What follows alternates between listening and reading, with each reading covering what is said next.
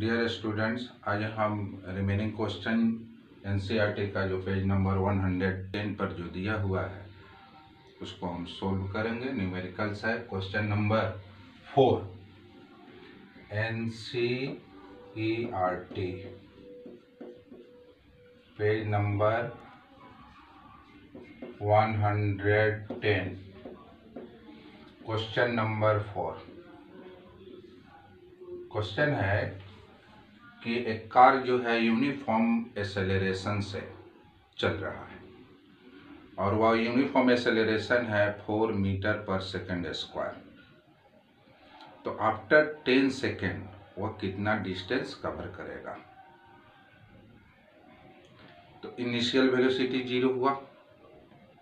Question है कि from start जब स्टार्ट हुआ तो वह अपना यूनिफॉर्म एसेलरेशन में तो यूनिफॉर्म एसेलरेशन यह है question four meter per second square और इनिशियल वेलोसिटी उसका क्या होगा? ज़ीरो होगा, क्योंकि आप जानते हैं कि कोई भी ऑब्जेक्ट अगर मोशन फ्रॉम रेस्ट स्टार्ट करता है तो इनिशियल वेलोसिटी क्या होता है? ज़ीरो होगा तो u is equal to zero meter per second uniform acceleration given है four meter per second square time है टेन सेकेंड। टेन सेकेंड में कितना डिस्टेंस कवर होगा, ये निकालना है। S the distance covered by that racing car in ten second if it goes under uniform acceleration of four meter per second square and it starts from rest s is equal to आप जानते हैं u t plus half a t square zero into ten plus one by two into four into ten square zero into ten zero two two या four two hundred distance covered by the car, वह कितनी होगी? 200 metre question number five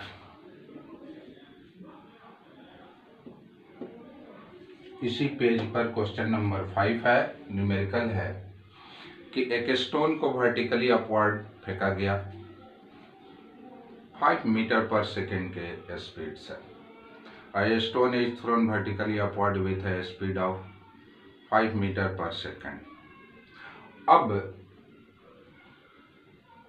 जानते हैं आप कि अगर acceleration का डायरेक्शन मोशन के डायरेक्शन में हो तो मैग्नीट्यूड ऑफ़ मोशन यानी स्पीड का मैग्नीट्यूड या वेलोसिटी का मैग्नीट्यूड क्या होगा इंक्रीज करेगा लेकिन एसेलरेशन का डायरेक्शन अगर अपोजिट हो मोशन के डायरेक्शन से तो स्पीड और वेलोसिटी का मैग्नीट्यूड क्या होगा? डिक्रीज करेगा। तो यहाँ स्टोन को वर्टिकली अपवर्ड फेंका गया ग्राउंड से। मान लीजिए ग्राउंड है, यहाँ से वर्टिकली अपवर्ड स्टोन को फेंका गया। किस वेलोसिटी से? इनिशियल वेलोसिटी है फाइव मीटर पर सेकेंड और एसेलरेशन ड्यू टू ग्रेविटी यहाँ डाउनवर्ड होगा। एक क्या होगा? डाउनवर्ड तो यहाँ वेलोसिटी और एक्सेलरेशन का डायरेक्शन एक दूसरे के अपोजिट है। तो यहाँ ए क्या होगा? Minus ten meter per second square जो दिया हुआ है। एक्सेलरेशन ड्यू टू ग्रेविटी जो मोशन के अपोजिट डायरेक्शन में है क्योंकि स्टोन को अपवर्ड डायरेक्शन में फेंका गया तो एक्सेलरेशन डाउनवर्ड होता है हमेशा। तो यहाँ निगेटिव साइन यह शो करता है कि यह रिटायर्ड होगा, इसमें रिटार्डेशन होगा। आप ऐसे भी देखते हैं कि किसी स्टोन को जब अपवर्ड फेंकते हैं, आप थ्रो करते हैं तो धीरे धीरे उसकी वेलोसिटी जो है कम होती जाती है। क्यों? क्योंकि एक्सेलरेशन का डायरेक्शन मोशन के डायरेक्शन के ठीक अपोजिट है। तो यहाँ ए क्या होगा? Minus ten meter per second minus या साइन शो करता है कि अपोजिट डायरेक्शन में क्वेश्चन है कि यह मैक्सिमम हाइट किस हाइट पर यह पहुंचेगा जहाँ उसकी वेलोसिटी ज़ीरो हो जाएगी? और वहाँ पहुँचने में इसको कितना टाइम लगेगा। यानी maximum height attend by the stone s निकलना है। तो एस निकलना है कब? जब इसकी फाइनल वेलोसिटी ज़ीरो हो जाए। तो u is equal to five meter per second a is equal to minus ten meter per second square और v is equal to zero अब आप पढ़े हैं third equation of motion v square is equal to u square plus two a s अब इस formula का आप यहाँ अप्लाई कीजिए। V square is equal to u square plus two a s v zero five का square plus two into minus ten into s twenty five minus twenty s twenty s twenty five s is equal to twenty five by twenty five by four one point two five meter maximum height attend करेगा कितना? One point two five meter. और यहाँ तक आने में वह कितना time लेगा यह टी भी निकलना है। तो आप जानते हैं v is equal to u plus a t v zero u five plus minus ten into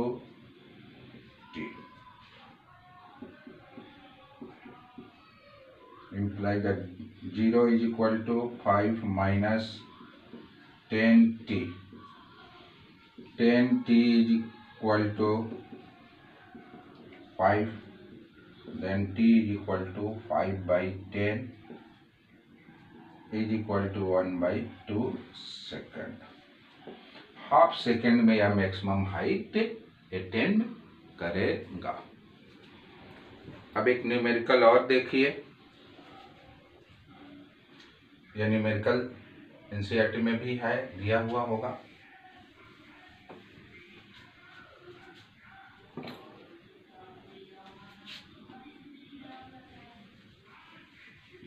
या नहीं भी दिया हो तो समझिए इसको।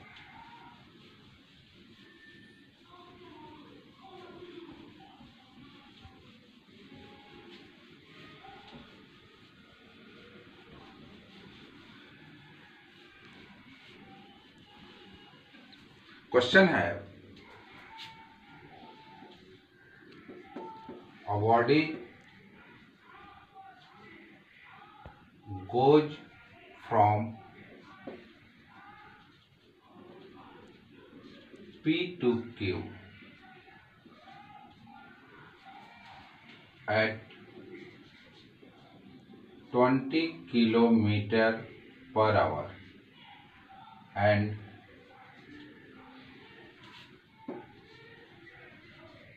comes back to Q at 30 kilometer per hour. Find first question its average speed its average speed its average velocity. Solution. एक object P to Q गया। From P to Q. Distance नहीं मालूम है। तो मान लीजिए P से Q के बीच का डिस्टेंस है x kilometer. Let the distance between P and Q be x kilometer अब जाने का स्पीड है 20 किलोमीटर पर आवर तो पहले जाने में कितना टाइम लगा? चूँकि एवरेज स्पीड के लिए total distance covered by total time चाहिए। तो जाने के लिए for for going from P to Q तो डिस्टेंस एस वन हमने लिया एक्स सेलेक्ट किया।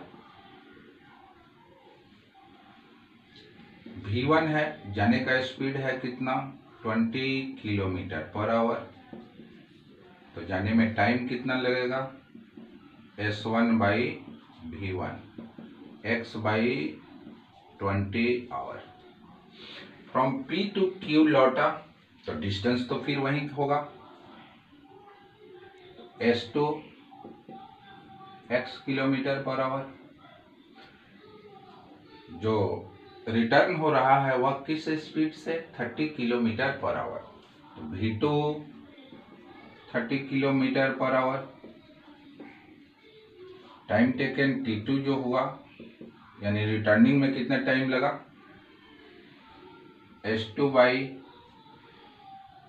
v two x by thirty hour average velocity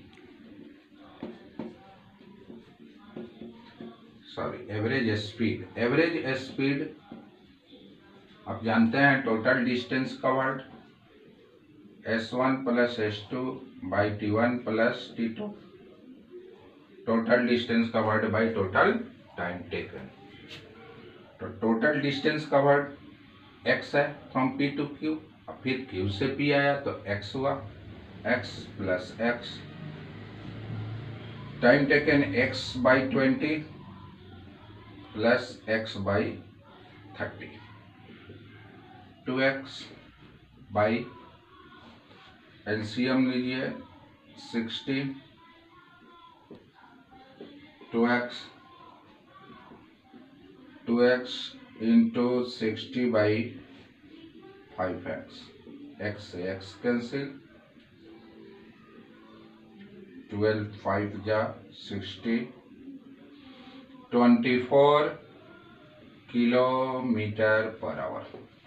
Average speed हुआ फ्रॉम पी टू क्यू और क्यू टू पी आने में उसका twenty four kilometer per hour.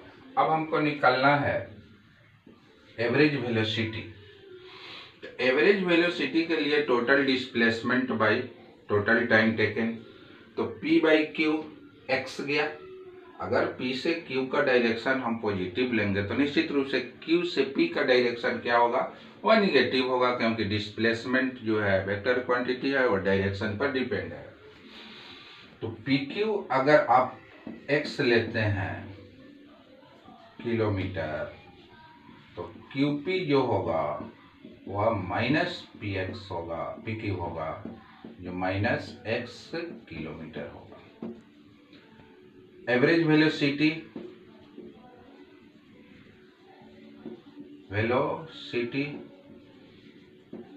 total distance covered total displacement P Q plus Q P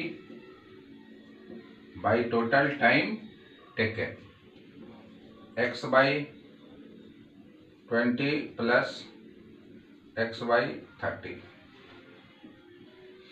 तो P Q x plus minus x by x by twenty plus x by thirty zero by x minus x zero by x plus twenty x by thirty is equal to zero kilometer per hour average velocity इसका zero हुआ। ऐसे भी आप समझ सकते हैं कि initial और फाइनल पोजीशन सेम हो रहा है।